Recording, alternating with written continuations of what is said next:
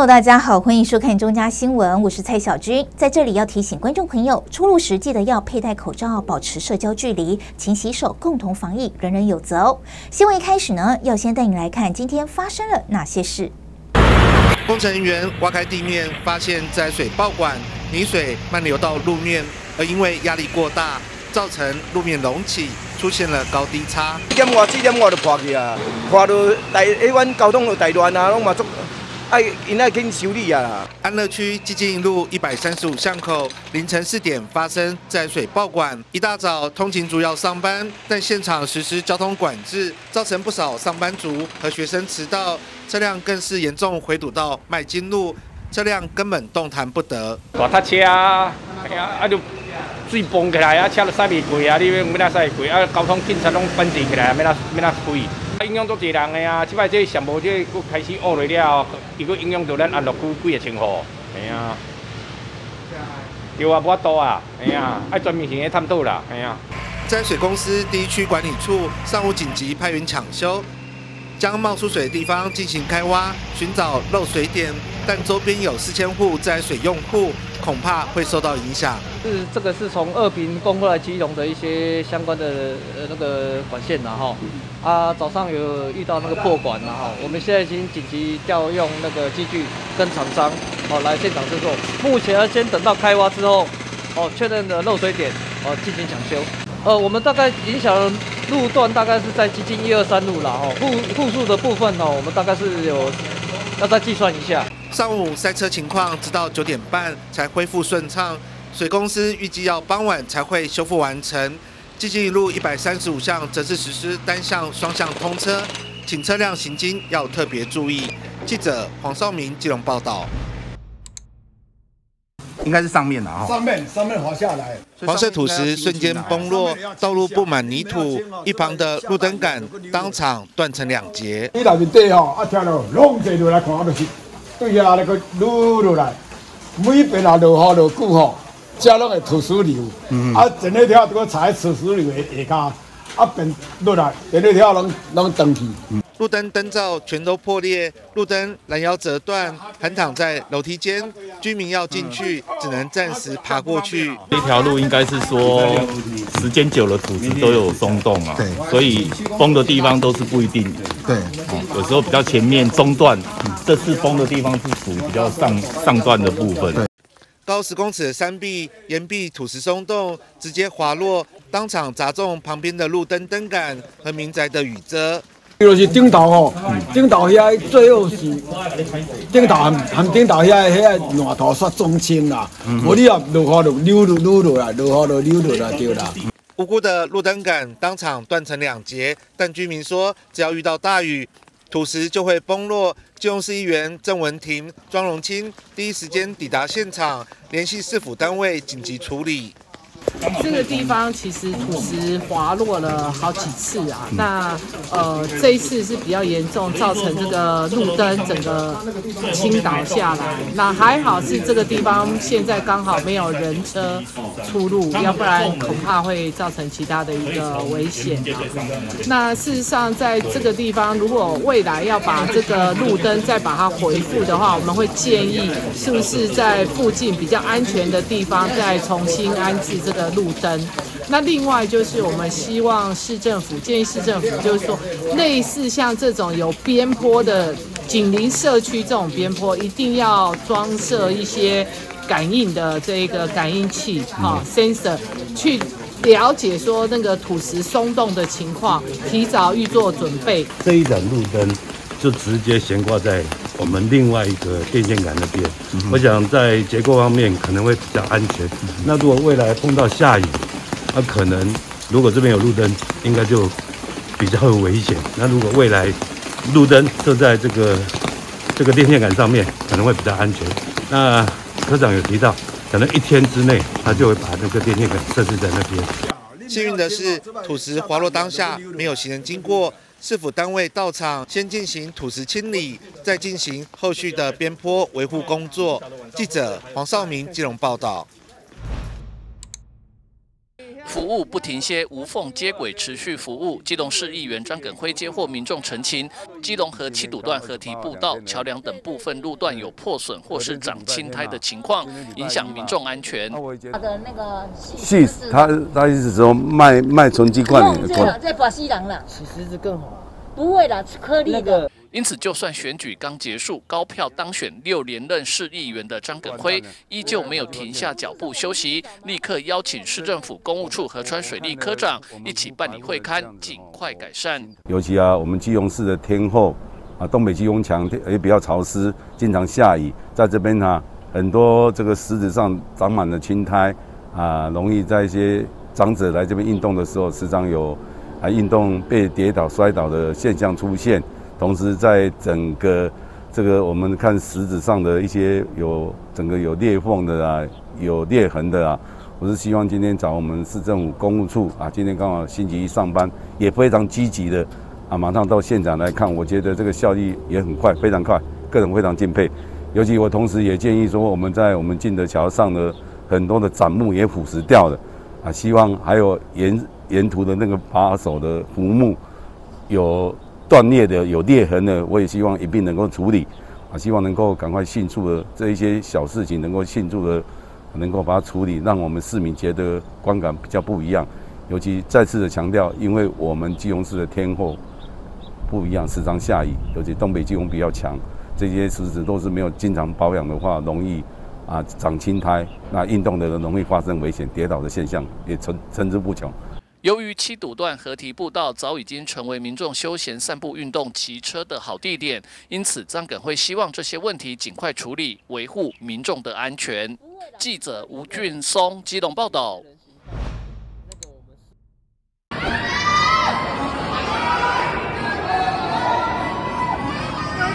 长兴吕师傅醒狮团一登场，现场掌声不断。不管是跳装还是舞龙，利落精湛的表演，在今年全运会一举拿下四面金牌、两面银牌佳绩。金融市长林佑昌亲自颁奖，和选手们合影留念，分享这份荣耀。各县市的这个团队可以讲啊，这个实力也都是相当相当的好啊，所以我们呃有很多很多的小细节啊，还有在竞速障碍啦各方面啊。这些的小细节，我们都极度的相当相当的这个很细腻的啊，把它这个完成啊，所以才拿到这个这个奖项，还还是我那个当师傅还是我我认为还算不错的了。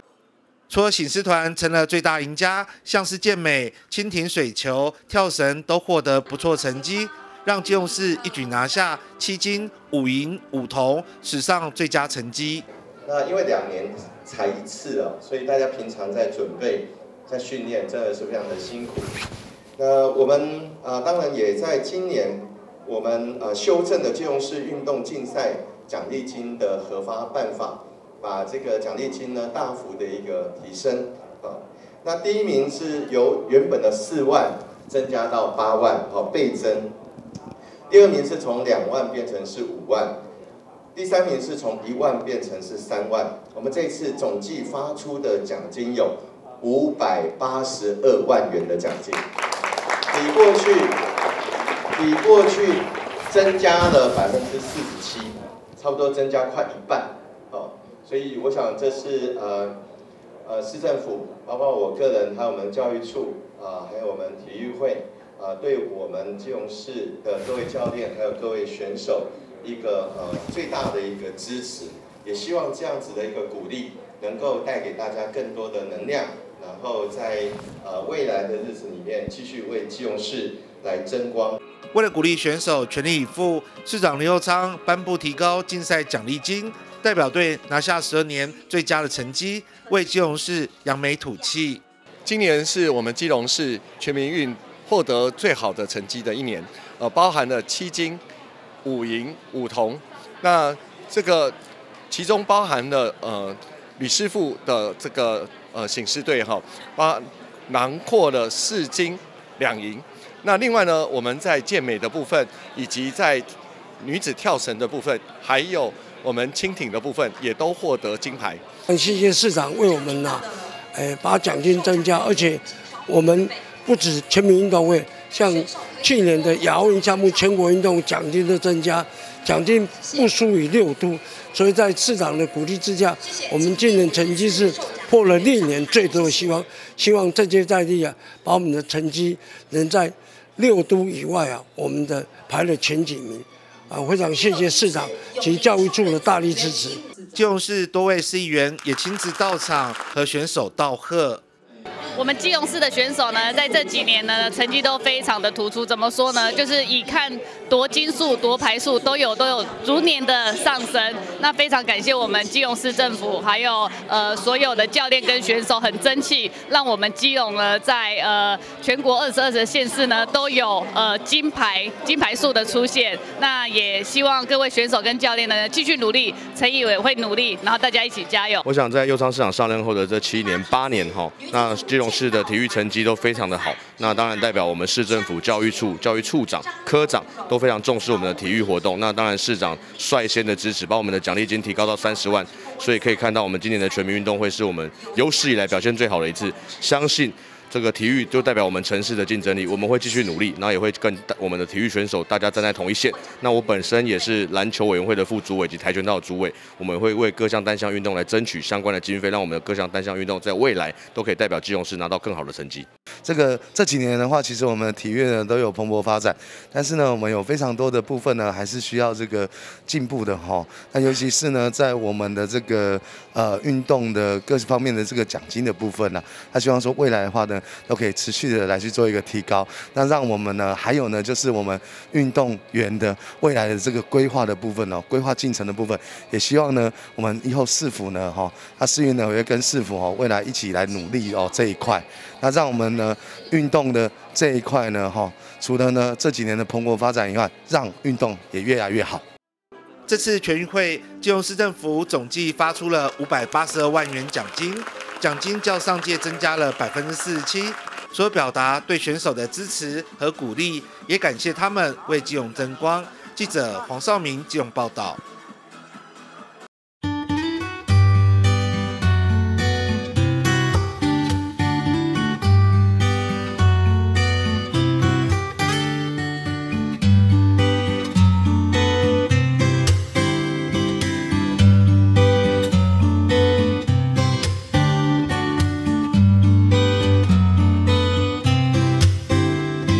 可以接任务喽！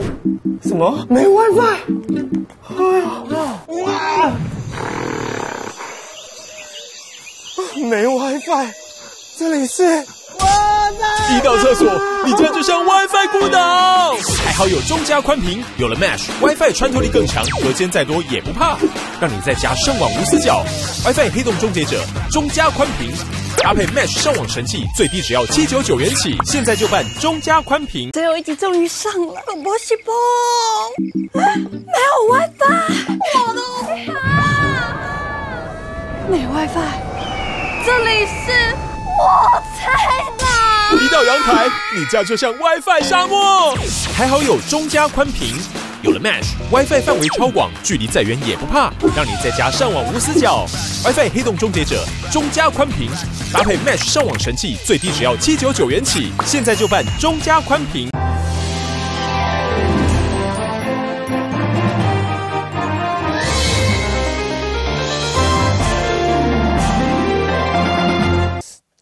谢国良表示，杨密新处长现任为立法院顾问。第八届的立法委员，台湾弱势病患权益促进会的秘书长，财团法人罕见疾病基金会的代言人，中广流行网公视节目主持人，人间卫视的新闻主播，也是他竞选期间的咨询委员副主委。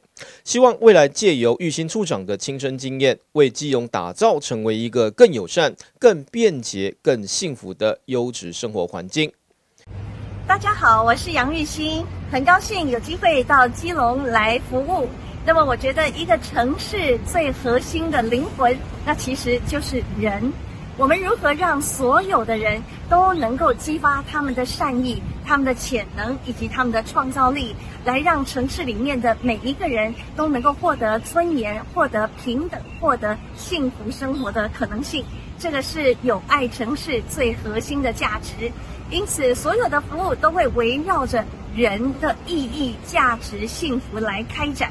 那么我们在这里会设计很多很有趣、很共融的，来让所有相对弱势的人，他们能够获得幸福的机会，然后也让所有相对有资源的人，那呃这个资源包含了。知识包含了时间，包含了金钱，呃，包含了才华，能够透过彼此的交融，在付出和给予当中，去彼此看见，看见生命的需要，看见我们付出、我们参与的可能性。有爱城市是一个创新价值的城市。邀请所有关怀社会创新、关怀幸福工程、关怀设计思考的朋友们，都能够来到基隆，跟我们一起共学共创。我觉得最重要的就是能够翻转障碍者面对的三种。困境，好，第一个就是所有物理性的障碍能够去除，哈，这些呃交通道路、建筑物，哈，公共空间，那这些能够让障碍者可以很容易的使用。然后很多人不认识、不了解这些特殊族群，包含小孩、妇女、高龄或者是新移民等等，我们能够透过教育，能够给予更多平等的机会，能够参与社会，大家互相认识。然后在政治、经济、文化、社会的发展面向都。都能够有合理的调整措施，来让所有的这些特殊族群可以融合各行各业的交通运输工具的改变，能够鼓励所有人在太旧换新的时候去采购通用的无障碍车，好，或者是说通用的福祉车，让不管是娃娃族、轮椅族、行李族、高龄的，好，或者是呃所有行动不便的人，他都很自然的，而且很自由、很自主的，随时都能够有无障碍。的交通，从点对点到最后一里路的这个每一个定点居家或每一个景点，它都能够有无障碍的交通。所以无障碍的交通体系，还有无障碍的环境体系，这都是我们要努力去翻转的。其实基隆其实是一个可以利用一个国外成功的经验，重新去打造，不管我们城市从视觉上、从实用上、从科技上，并且在人文发展上面都能够欢迎。国内外的这些特殊的啊族群跟他们的家人到基隆来这个游玩，或来基隆来享受生活，我觉得这个可以是基隆未来观光的一个特色。其实打造友爱城市不是一个福利政策，而是一个观光产业政策。啊，它在建构观光产业的同时，他也可以将我们本地在地的特殊族群跟他们的家人，因为只要有一个。家里只要一个成员是特殊族群，整家人都会需要因而调整他的整个生活方式。所以我认为说，我们应该要利用所谓观光产业啊的一个这样子的思维，进而去打造我们全基隆市的一个这样子的从软体、硬体跟人文方面都欢迎而且接受，并且啊善待。不要讲善待了，同理啊，我们这些呃特殊族群朋友们以及家人们这样子的一个啊都市生活环境。各位金融的好朋友们，大家好，我是林鼎超，很开心可以加入小爱爸爸的团队。我过去是高雄市政府首任的青年局长，在跟之前也在香港的金融圈服务。我会带着我的热忱、我的专业、我的经验来服务我们基隆所有的乡亲朋友们。未来希望有更多的好朋友可以来投资我们基隆。让基隆有更多的就业机会，让我们基隆的子弟也可以留在基隆工作。各位好朋友们，我们基隆见，拜拜。记者黄日升，基隆报道。失智症纪录片《有你相伴的旅程》基隆场电影巡回，由天主教失智老人基金会、基隆市卫生局、基隆市立医院失智共照中心以及台湾爱丁顿环盛洋酒股份有限公司一起合作，在海科馆国际会议厅办理，并且邀请相关领域专家讨论，希望民众能够认识失智症，进一步关心失智友善以及家庭照顾者和照顾者的辛劳。我们失智照顾最大的目的，这条线最大的目的，是要让这些失智症的患者，如果是轻度、中度、重度，减缓他的一个进展的速度。所以，因为失智症的原因非常的多，最重要是什么？我们不要等我们失智症了再来处理。好，就我们不健康的观点来讲，我们应该在我六十几岁开始老化，我就要来预防失智症。这才是最重要。所以这个支持的据点，事实上是针对我们家庭照顾者，任何家里面有失能失智的家庭照顾者都可以来使用哦，所以可以到我们社会处的官方网站或是卫生局的网站都可以看得到，好不好？其实这个照顾不是复杂，它是很精致的，因人而异。我们要以每一个状况一个第一的措施去反而去思考说为什么会这样，那我们应该要怎么样？有时候是很有趣的，有时候是需要创意的，有时候需要一点幽默，有时候就需要去诱发他以前的这些故事。然后我觉得这些是真正在照顾失智者最大的挑战，然后也是觉得最最让我很喜欢做这个领域的一个的教育。这部纪录片由天主教失智老人基金会筹划一年多拍摄，记录六十岁的岳朝林先生独自照顾双亲，面对双倍的压力，从彷徨无助到寻求资源、找到希望的心路历程。岳朝林表示，照顾过程是很辛苦的，很多地方无法透过影片呈现。重点就是不要放弃希望，如果一路投降，状况只会越来越差。有时想想妈妈当初生下我们的辛苦，照顾也是应该的。那我们除了要正面积极之外，情绪控管好了以后呢，就是要激励旁边的人。其实哈，那个照顾老人家如果这么辛苦的话，妈妈生我们不辛苦。情绪先安定，其他就不要想太多。每个人都会老死，想通就好。记者吴俊松，基隆报道。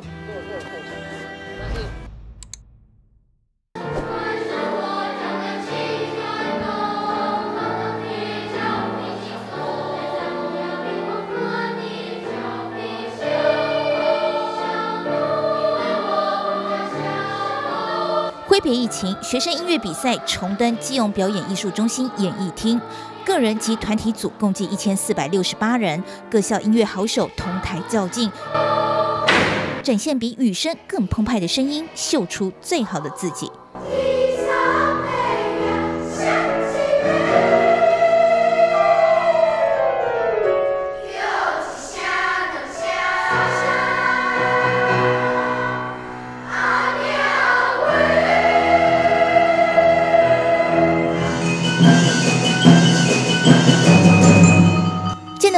德国中打击乐合奏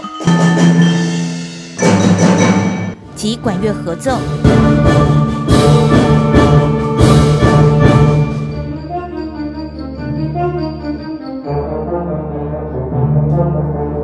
拿下市赛冠军，将前进全国赛。另外，基隆高中丝竹室内乐合奏团队配合默契绝佳，精彩表演震撼全场，一样代表基隆出战全国赛。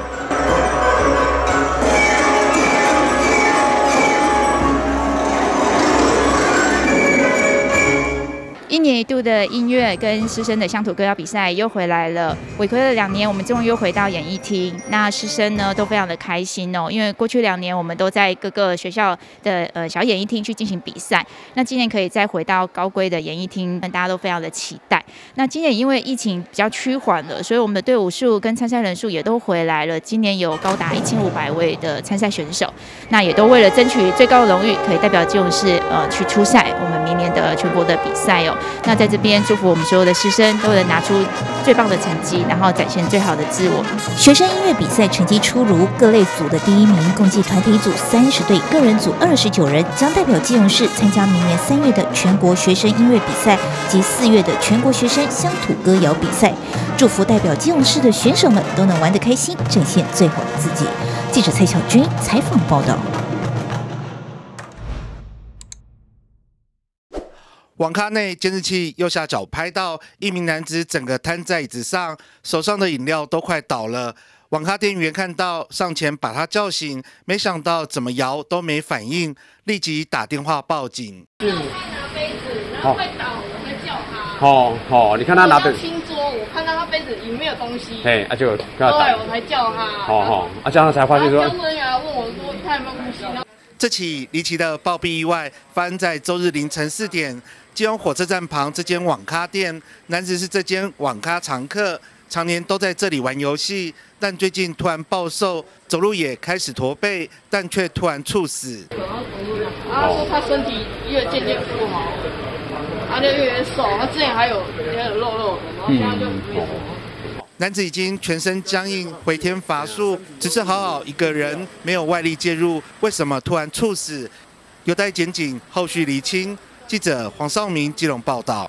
以上就今天的中嘉新闻，也欢迎您到中嘉新闻的脸书及 YouTube 按赞，就能及时获得最新的在地新闻。另外，我们也与 FM 轻松电台九六点九联合直播，欢迎准时收听。非常感谢您的收看，我是蔡小军，祝您一切平安，我们再会。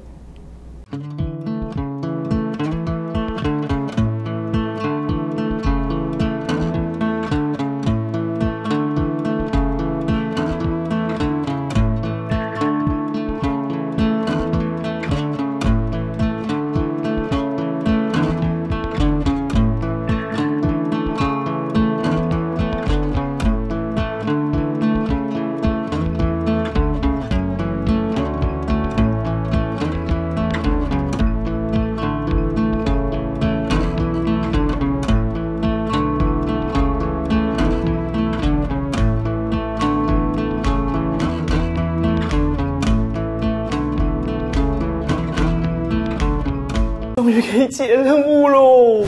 什么？没 WiFi？哎呀，哇！没 WiFi，这里是一到厕所，你家就像 WiFi 孤岛。还好有中加宽屏，有了 Mesh，WiFi 穿透力更强，隔间再多也不怕，让你在家上网无死角。WiFi 黑洞终结者，中加宽频。搭配 Mesh 上网神器，最低只要七九九元起，现在就办中加宽屏。最后一集终于上了，波西波，没有 WiFi，我的 WiFi，没 WiFi，这里是我在哪？一到阳台，你家就像 WiFi 沙漠。还好有中加宽屏。有了 Mesh，WiFi 范围超广，距离再远也不怕，让你在家上网无死角。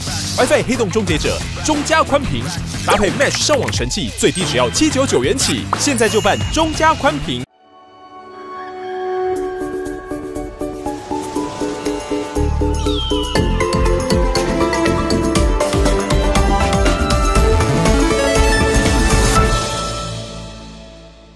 隆有一名妇人在聊天群组分享自来接中药行夫妻确诊死亡，还附上消毒照片，在 LINE 群组不断被转传，越闹越大。连中南部亲友也知道，搞得左邻右舍都很紧张，大家避之唯恐不及。后来结果怎么样？雷中药行夫妻根本没死啊，也没确诊啊。当地里长找到这名散播消息的妇人，他解释并不是有意的，只是转传。没想到事态会这么严重，他亲自前往下跪登门道歉。中药行老板最后后决定原谅他，不追究，这是真实案例。要告诉您，疫情期间假消息可能就在您身边，一定要聪明辨别。记得一，眼见不一定为真；二，分享前再想一下；三，养成讯息查证的习惯。记得一，眼见不一定为真；二，分享前再想一下；三，养成讯息查证的习惯，因为很重要，所以讲两遍。要记得，欧中家集团关心您。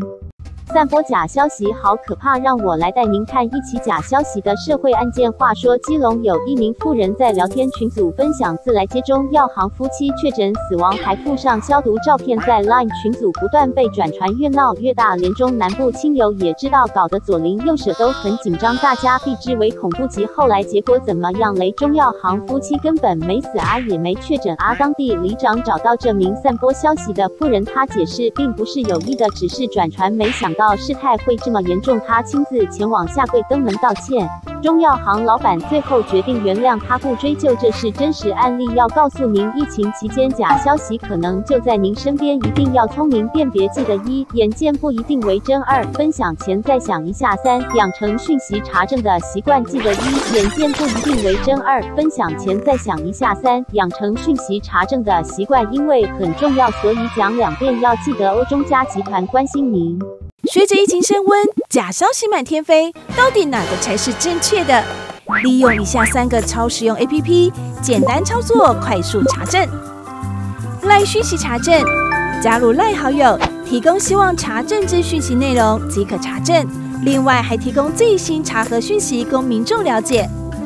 台湾事实查核中心，赖搜寻台湾事实查核中心，加入好友。将收到的讯息整篇贴上，即可查询是否为假消息。买 GoPen 同样加入赖好友。当您收到不明消息，直接转贴到买勾片。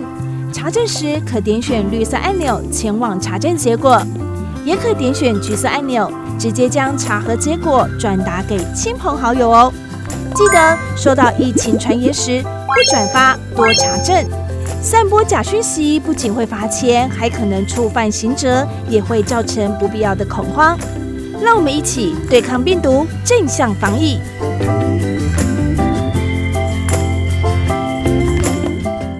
散播假消息好可怕，让我来带您看一起假消息的社会案件。话说，基隆有一名妇人在聊天群组分享自来接中药行夫妻确诊死亡，还附上消毒照片，在 LINE 群组不断被转传，越闹越大。连中南部亲友也知道，搞得左邻右舍都很紧张，大家避之唯恐不及。后来结果怎么样？雷中药行夫妻根本没死啊，也没确诊啊。当地里长找到这名散播消息的妇人，他解释并不是有意的，只是转传，没想到。到事态会这么严重，他亲自前往下跪登门道歉。中药行老板最后决定原谅他，不追究，这是真实案例。要告诉您，疫情期间假消息可能就在您身边，一定要聪明辨别。记得一，眼见不一定为真；二，分享前再想一下；三，养成讯息查证的习惯。记得一，眼见不一定为真；二，分享前再想一下；三，养成讯息查证的习惯，因为很重要，所以讲两遍。要记得，欧中家集团关心您。